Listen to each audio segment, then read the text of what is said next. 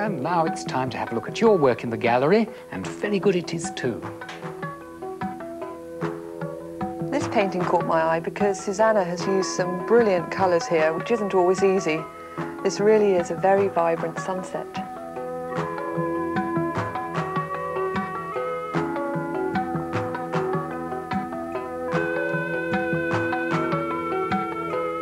The combination of neat cut-out paper and spray paint works really well here. I've decided those black triangles could well be bats, maybe bats flying around a church.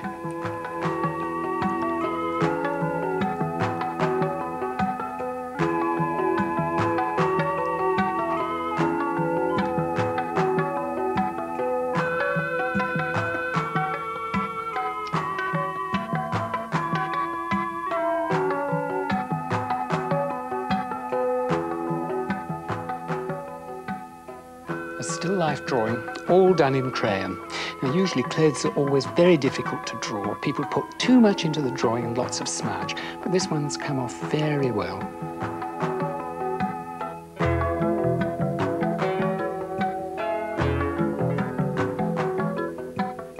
A splendid hungry snail. Robert, what I really want to know is, did you make a coil of string and press it into the damp papier-mâché to make that? Lovely, wasn't it? And so were they all, and we do enjoy looking at them. Now, here's our address. Hartbeat, BBC TV, London, W3 6XZ.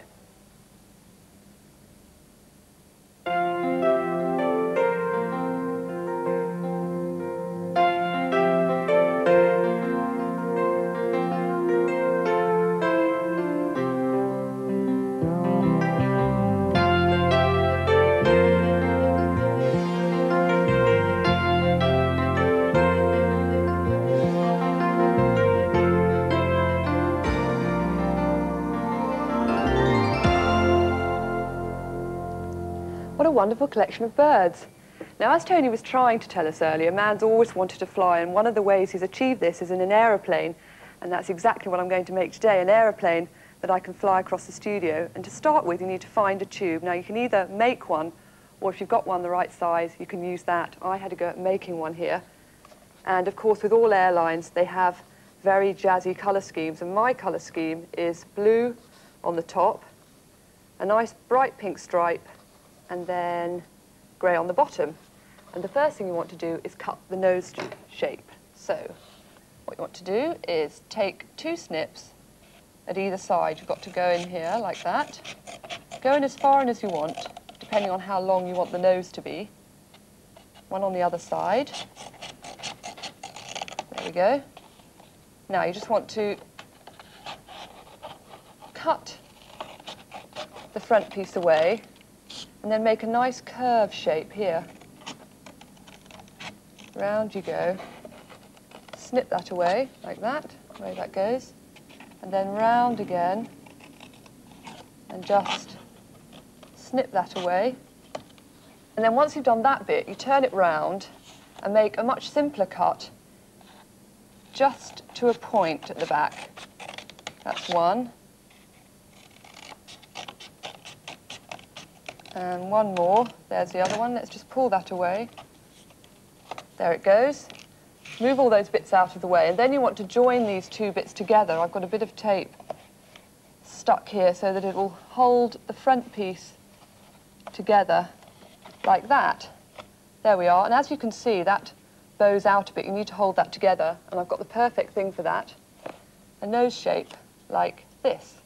Cut into the front of the plane and then a little curve there for the window. And then to attach it, you just stick it on one side like that. Make sure that's nice and secure there, it comes unstuck very easily. And then underneath it goes, and then you want to stick it onto the other side. Oh yes, that's just right. Now that looks like the front of a plane. And once you've done that bit, the next bit you want to do are the wings. Now over here I've got the wings. They're made out of corrugated card because it needs to be a very light card so the plane isn't too heavy. And then I've covered it in the same blue paper. Now that's the main wing. And of course you've got your tail plane, which is exactly the same shape but just a little bit smaller. And then at the back of the plane as well, you've got the tail bit that stands up, and those two slot together like this. Two cuts on each one, and they should just, are they going to go in? Yes. There it goes. Slots together very nicely. And to attach those, at the back here, you want to make a couple of cuts. Three cuts, one here, like that, one at the top, like that, and then just one at the side. And then hopefully that will take your tail plane. Let's just see if those go in. Oh, yes. Is that going to go in? Yes. Well, it's going in, but these are flapping up a little bit, aren't they? So I think a bit of tape at the back just to hold it in position. Just a little bit there. There we are. That holds it nicely. And the last thing you want to do is your wing that goes across the centre, and that's your main central wing. I've got two slits. And if I just turn it round the other way, you'll see the other slit. Make sure they're in exactly the same position on each side. And then all I have to do now is just feed that wing through. There it goes. Going in. Gently ease that in. Oh, yes, perfect. There we are. And there's my plane. And over here, I've got an identical plane ready to fly. Just got to go up these ladders. And up here, I've set a nylon line up and I've strung it right the way through the plane and I've got a paper clip holding it in position and let's see how it flies. There it goes. Oh, wow.